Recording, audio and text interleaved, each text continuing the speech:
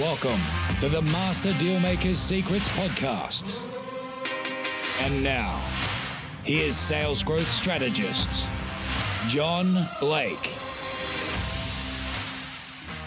Welcome to Master Dealmakers Secrets. I'm John Blake. This is episode 111, and today we are going to talk about a simple two step process that you can use to generate referrals from your existing clients. So, super excited to share that with you.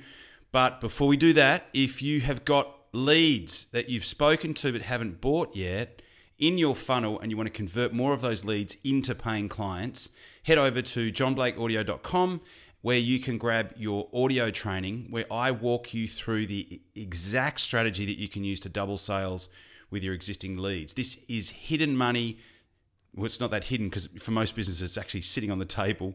Um, this is the exact strategy that I teach my clients with uh, when they first start with me. It's the fastest way that I can that I can work with them to get a really, really fast ROI on their investment with me. So it is over at johnblakeaudio.com. What not only will you get the audio training, what you'll also get is the PDF guide that's got the exact word for word scripts in terms of what to write in your emails, in terms of what to write, or in, in terms of what to say when you ring, uh, in what, what to say if you get somebody's voicemail, exactly what it is to write and send, and when to call over a 90 day period. It's all mapped out step by step, and it will produce consistent results. And one of the best things about it is that you can teach somebody else in your business to do it.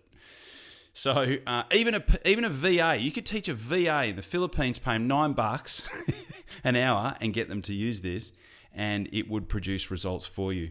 So head over to johnblakeaudio.com and grab that, and I look forward to hearing your success story. Okay, so I wanted to give you something really simple, really simple strategy today. This is how to get referrals in two easy steps. So the the first step is what we need to do is we need to set the scene or, or, or set the stage, stage, so to speak.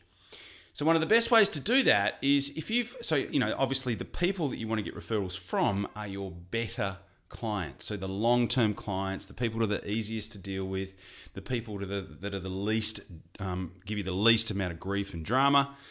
They are the ones that you would ideally love to refer some business to because birds of a feather flock together. People that are of the same mindset uh, and the same philosophy on life, and and if you want to get all woo woo, they kind of vibrate at the same level. They hang out together.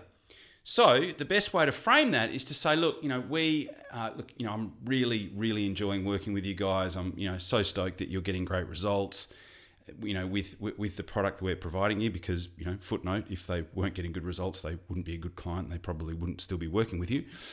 Um, and look, if you know, quite frankly, if I had a magic wand and I could duplicate one client uh, 50 times, it would be you guys. So we really appreciate the business. And what we also realize is that birds of a feather flock together. So typically, people like yourself will know people that are similar to them and so, what we would ideally love is if if there was anyone that you know that you think we should be talking to that we could potentially help in the same way that we've helped you, right? So that's the first part that um, first part of the process.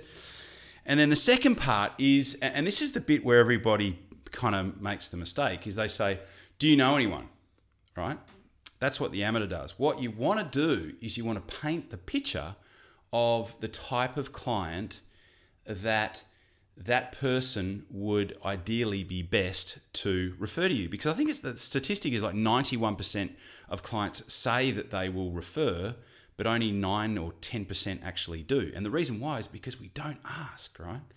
So, the best way to do that is to actually paint the picture. So, you could say, look, a, a really great client for me would be somebody. So, if, if, I was to do this for my own business, I could say, look, a, a really good client for me would be someone who typically has about 30 staff. They are investing quite a significant amount of money in advertising.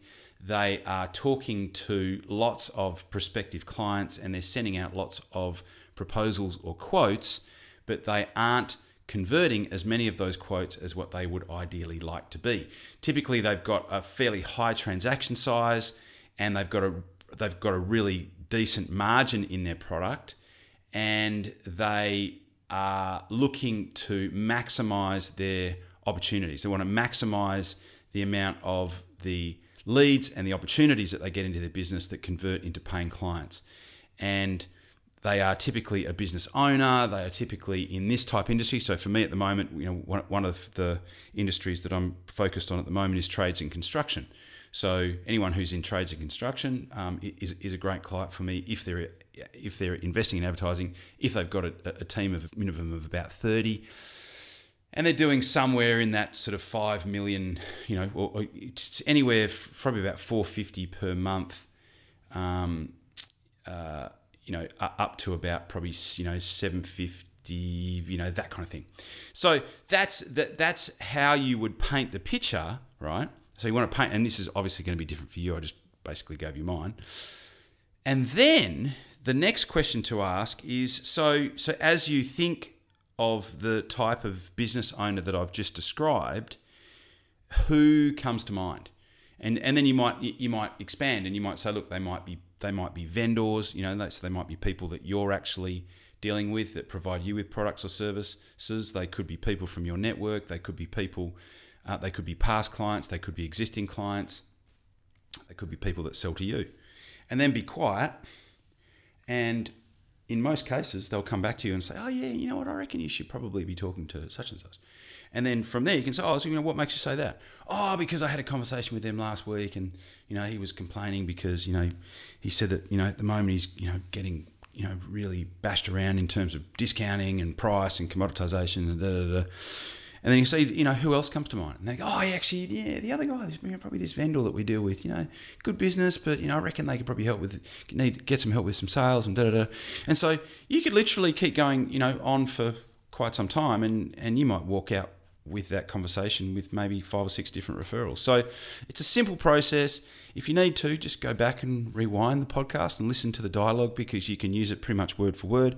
As I've said it, um, good luck with that. I hope you get some good referrals out of it. And uh, thank you for listening as always. And I will look forward to talking to you on the next podcast. Cheers. Bye.